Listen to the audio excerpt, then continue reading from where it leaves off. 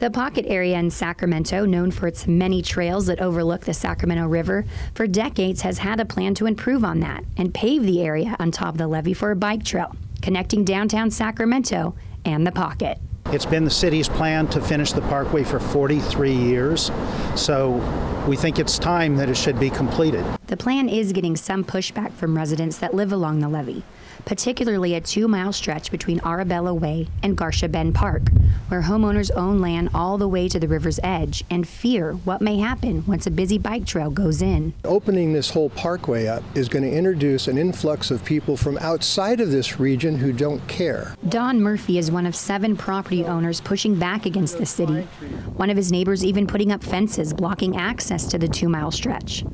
Jim Hoop with the Sacramento River Parkway Coalition is opposed to that, saying the public deserves access to the entire levee. There are several areas that are blocked off by private fences and gates.